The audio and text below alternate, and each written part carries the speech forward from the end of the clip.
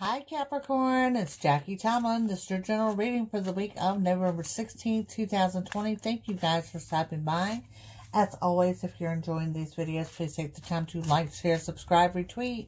I greatly appreciate it. And if you're seeking a psychic reading, contact me at JackieTomlin.com or find a link to those readings and everything I offer in the description box located below this video. Okay, Capricorn, first out the gate, be warned of foolish decisions. I need you guys to slow down and think things through. Um, I'm not going to say you're full of negativity, but you're almost like a Debbie Downer this week.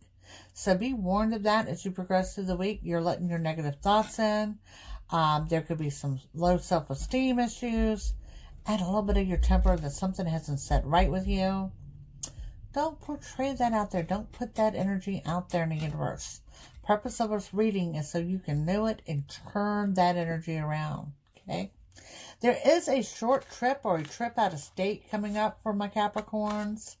Um, and honestly, I think that's what you kind of need. You need that getaway to leave that negative energy behind. Does that make sense?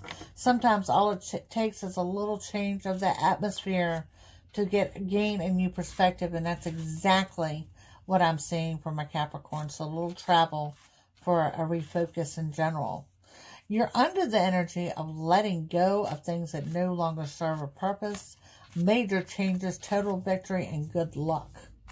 So, Capricorn, you may have to change it up by changing your atmosphere to gain some perspective.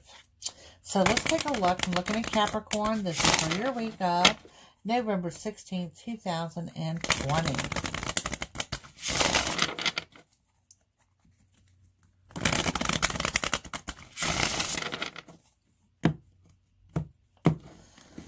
All right. Capricorn, we start with, wow, Ten of Pentacles right out the gate. The new money coming in. Um, this is the highest financial card in the deck. Uh, this has a lot to do with the trip planning, to be quite honest with you. Imagine that. Uh, but yeah, this is new money coming into play. Two of Swords shows me that you've got decisions to make. Okay? And perhaps these decisions are on these travel plans or, um, like I said, getting away. We have the Three of Pentacles. Okay? This is you still dwelling on there will be enough to go around. Okay? Spread that money out. Moving forward, you guys got the world. The world is your oyster. Things going your way, finally. That sigh of relief, ready to embrace a new day. The Eight of Cups shows taking some me time. The meditation, the looking over the past, uh, this could also be new offers of love coming in. It's looking over the past, but also looking for a new path of not wanting to repeat the past. Then we have, there it is, that new beginning in the financial sector. And like I said, y'all started with that Ten of Pentacles right out the gate of that highest financial card justice in your favor for Capricorn. Okay. This could be the signing of a legal document. This could be court cases, large leases, and or purchases. But definitely coming in under that world is your oyster and falling in your favor. Knight of Wands showing a move for my Capricorns. Someone moving in the home, someone moving out the home. Um, this is probably a residential move. For some of you, it could be a business move. Change of jobs or actual business physically moving locations. And then we end with the Nine of Swords.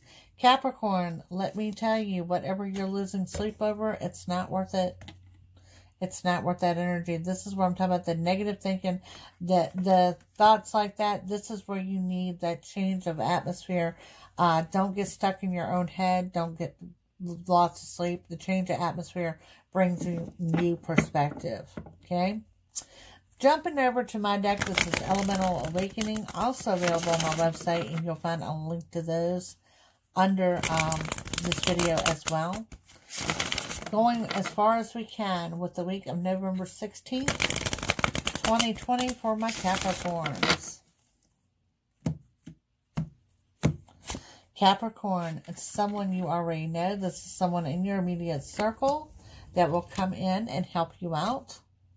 Rest before further development. This is a major arcana in this particular deck. Good news arrives and get ready to celebrate. Totally awesome. There's a Gemini type energy. Dig for your patience, also on a major arcana. That's easier said than done for Capricorns right now. There's a Libra energy. Cancer energy. It's surrounded by a lot of people. And Aries, my goodness. Okay. Unhappy and allowing negative thoughts in. This is what I'm telling you. Yes, run away from these thoughts.